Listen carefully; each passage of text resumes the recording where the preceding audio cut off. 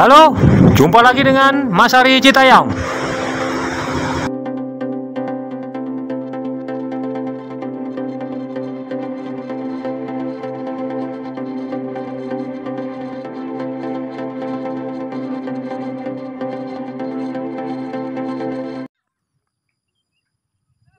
Assalamualaikum warahmatullahi wabarakatuh. Ketemu kembali dengan Mas Ari Citayam. Kali ini menerbangkan merpati endemik ya. Eh, yang ini yang depan merpati endemik silangan kupu-kupu melati kali krai. Yang ini lain ya. Ini kupu-kupu melati kali gingging. Hasilnya lain nih. Mukanya juga kelihatan lain ya. Tuh. Kita terbangkan, kasih sawangan biar buat tanda ya suaranya.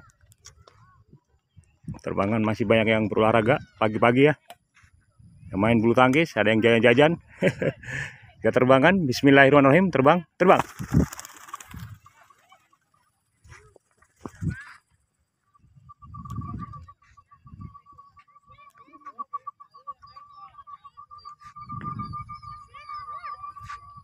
Kita terbang ya, ada mulai ngevlog.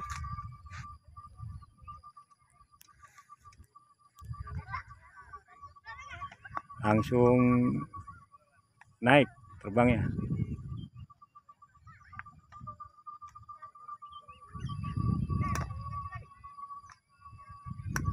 jadi sawangan fungsinya ini kalau kita nyari burungnya tinggal dengerin. Karena ini burung tinggi ya kalau terbang terus agak lama. Apalagi pagi-pagi begini.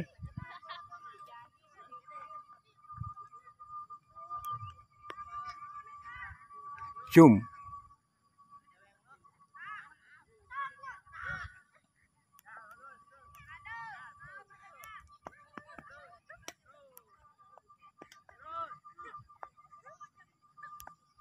merpati endemik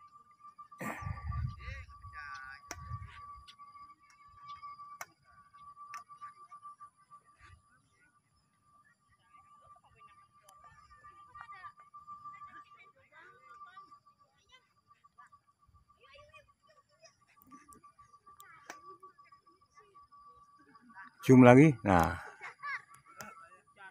Dia ter gaya terbang ini ya. Uh, tidak cepat santai. Jadi gampang di videoin kita nantikan setelah uh, dia mau turun dulu ya. Sekarang kita melatih-latih yang ini. Nah bawa banyak. Ntar kalau dia turun baru kita videoin lagi. Melatih-latih yang ini ya.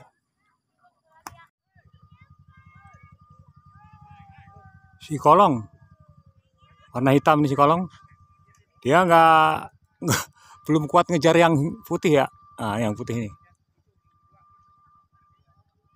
Zoom. Nah yang ini kolong. Zoom juga. Zoom juga ini kolong. Jadi perbedaannya terbang merpati kolong sama merpati endemik. Merpati kolong begini agak cepat terbangnya ya. Cues cues gitu cepat nih. Ini punya saya juga ini pasti kolong. Hai satu lagi yang warna putih. Taruh cari dulu nah, ini yang endemik. Endemiknya yang putih ya. Dia terbangnya pelan. Nyantai. Ini cum tinggi ya. Tinggi. Cum merpati endemik. Yang merpati kolong di bawah nih. Merpati kolong terbangnya cepat. Kalau merpati endemik terbangnya lama. Eh lama. Pelan. Tapi tinggi. Ya udah mulai pendek ya kita mulai panggil, panggil aja ya. Pakai pelipitan panggilnya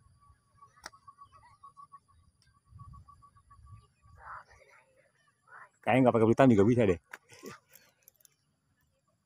Tapi kalau nggak pakai pelipitan teriak-teriak